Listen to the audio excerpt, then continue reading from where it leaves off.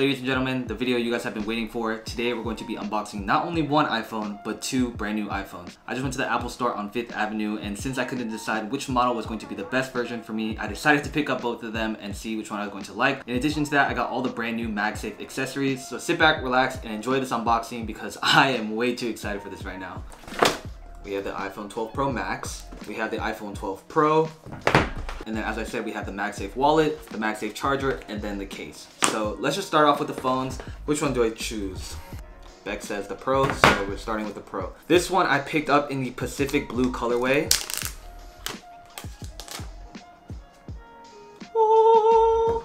Alright, I'm not even gonna lie. This thing is pretty crazy. I saw the blue in store and in person it looks a lot cooler. Sheesh.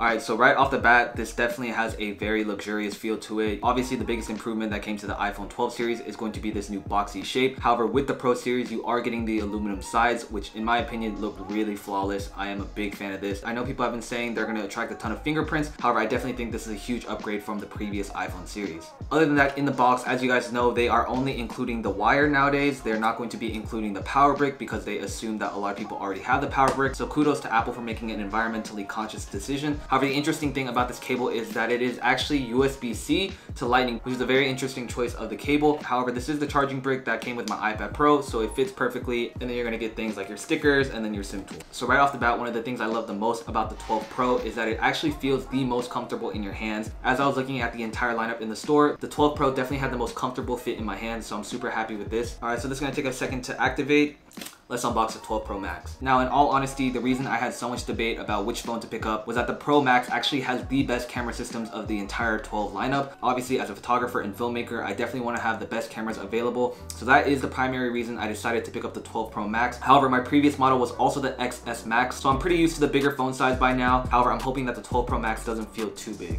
I also decided to get it in the graphite color. I'll talk a little bit more about the color selection process later, but yeah, this thing is pretty massive. Just holding it in my hands, it is actually the biggest iPhone that Apple has ever made. Yo, this thing is a beast. The graphite color is absolutely beautiful. The stainless steel on the sides definitely warrants a pro version name. Alright, so this is the side-by-side. -side. Obviously, everything is pretty much identical other than the size and the camera configurations. So my initial impressions of the 12 Pro and the 12 Pro Max are that they are first off probably the best design changes I've seen come to the iPhone in a very long time. Other than the upgrade that came to the iPhone 10, I don't think we've seen something similar to this in a very long time. And for me personally, I'm very happy that they went back to the boxy rectangular design that was similar to the iPhone 5. Alright, so the 12 Pro Max got set up first. Honestly, this screen is massive. I've never seen a screen this big on a phone before, and even though it does have the notch because it's a bigger screen overall, I think it gives it a smaller impression on the actual size of the phone.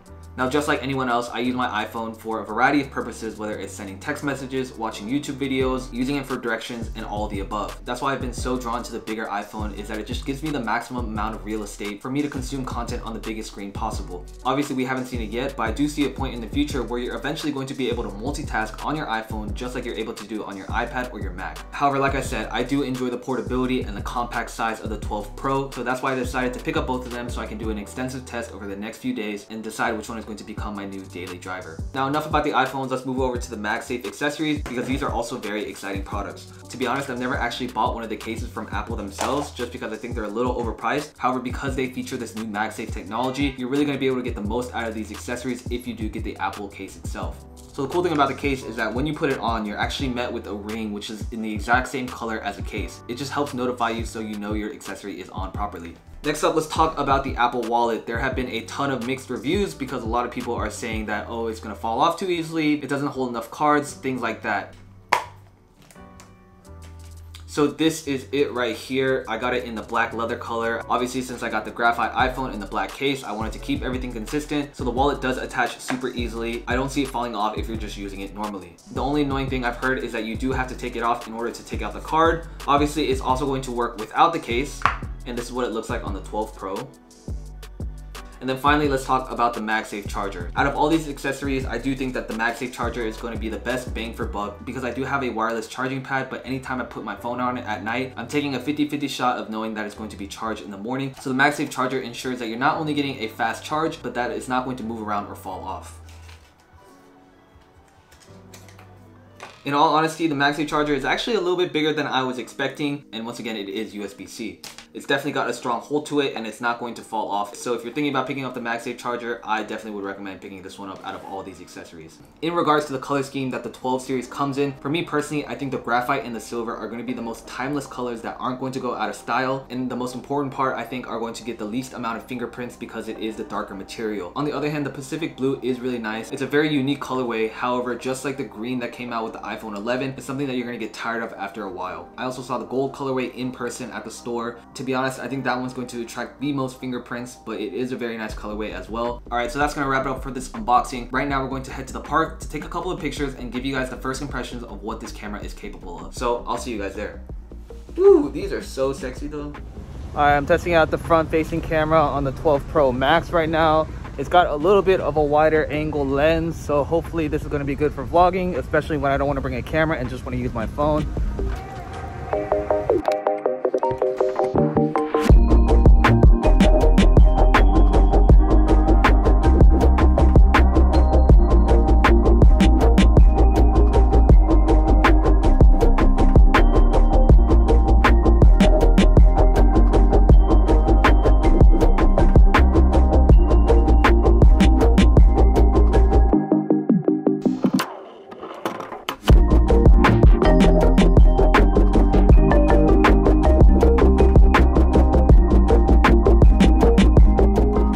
All right, so right now I'm testing out the cameras on the 12 Pro and the 12 Pro Max. Right off the bat, I can definitely say that they're very comparable cameras, and for a majority of scenarios, you're going to get very similar results. This isn't gonna be a full in-depth review of the cameras. That will be an entirely separate video, so make sure to subscribe to see that one. So right now, we're just gonna be testing out the couple of lenses that comes with these phones. So right, right now, I'm testing what it would look like if I use the rear camera as a vlogging camera.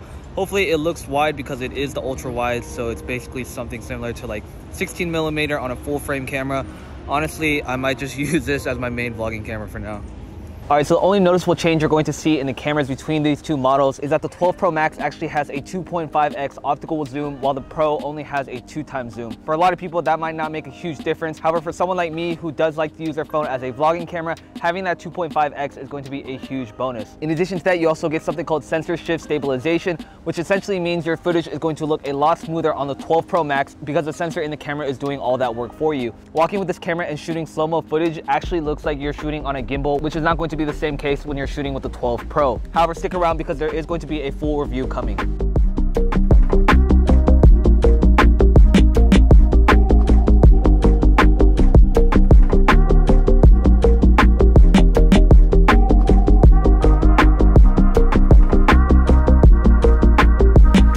Wrap it up for this unboxing and first impressions of these brand new iPhone 12 cameras. I hope you guys enjoyed this video. Don't forget to hit that subscribe button because there are going to be tons of videos talking about the exact differences between these two phones. So if you're looking to pick up a new iPhone, don't you guys worry, I will have you guys covered. So until next time guys, let's build. Peace.